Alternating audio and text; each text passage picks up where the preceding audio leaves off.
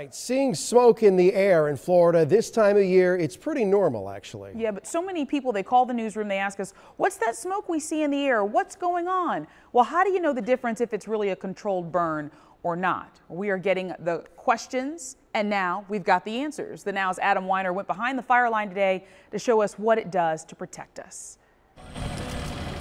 Fire is not the enemy here in the forest of Hillsborough County. It's natural. The fire is putting ash on the ground, nutrients in the soil. It's also removing overgrowth so that the wildflowers, the native wildflowers and grasses can come back. Environmental Outreach Coordinator Andy Fairbanks of Hillsborough County, one of several people today burning a part of Lithia near the Alafia River. Prevent wildfires yeah. and provide the natural fire that keeps the forest healthy. Since Florida has a dry season and a lot of lightning, the wildlife here adapted to benefit from fire. Tried to light, if it doesn't light very good, come on back out to where the fuel is a little bit better out there and light it there. So the county tries to mimic on a small level what would happen naturally. If we don't have regular uh, fires based on like a, a natural interval that consumes that fuel, it can build up real dense pockets of fuel and that's where it's a risk of wildfire. Wildfires, like the kind seen recently in Gatlinburg, Tennessee. Controlled burns are near daily activity here in Florida. The Hillsborough County unit today